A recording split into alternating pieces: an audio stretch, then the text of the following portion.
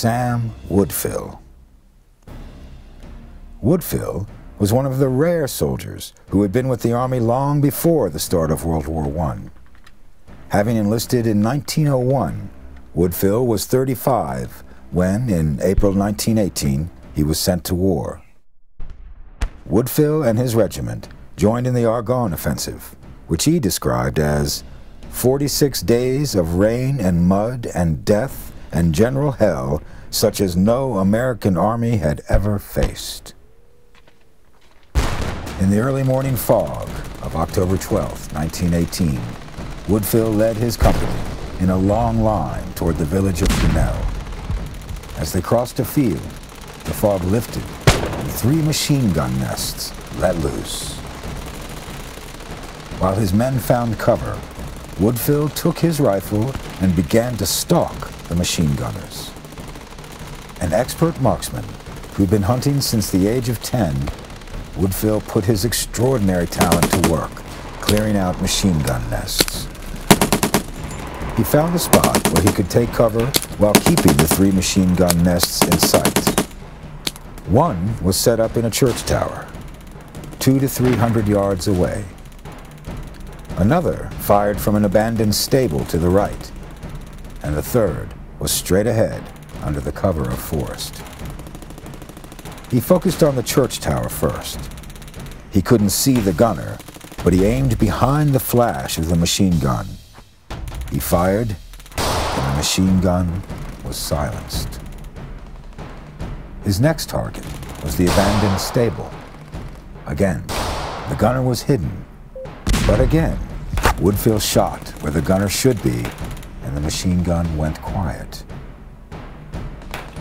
To reach the nest in the forest, he had to stalk around to the side, taking cover in holes created by shelling. One hole concealed a pocket of mustard gas, which he inhaled before realizing it. He avoided a fatal dose, but now his eyes were stinging and his vision blurry. Still, he moved on, creeping quietly until he was hidden from view but in a spot where he could spy the face of the gunner in the third nest. Woodfill fired, and the man went down. Another took his place, and he fired again. Two more took up the machine gun, each killed by a single shot from Woodfill. Finally, the remaining two Germans fled. His men looked on with awe. Woodfill signaled them to move up, he then returned to the hunt. Each nest he cleared improved the odds of his men surviving the day.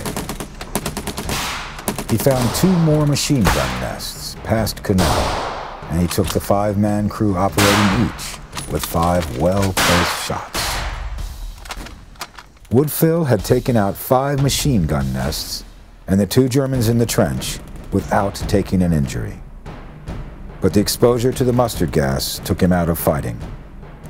He and his men rejoined the rest of the American forces, but he was quickly moved to a hospital.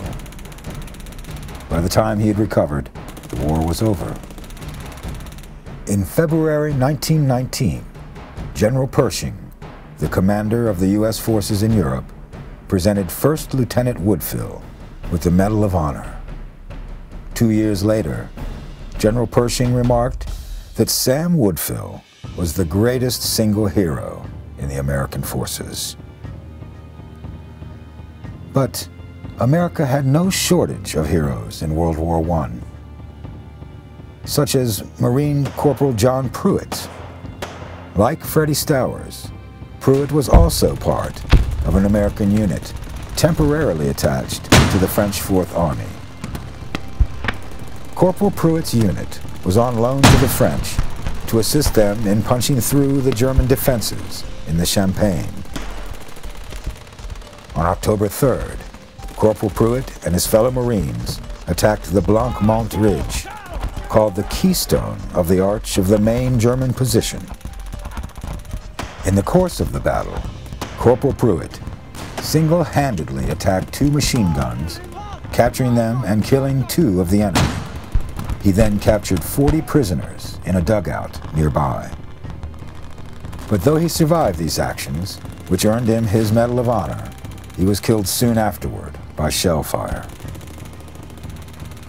Pruitt was one of only 19 people who received two Medals of Honor, one from the Army and one from the Marine Corps, both for the same action.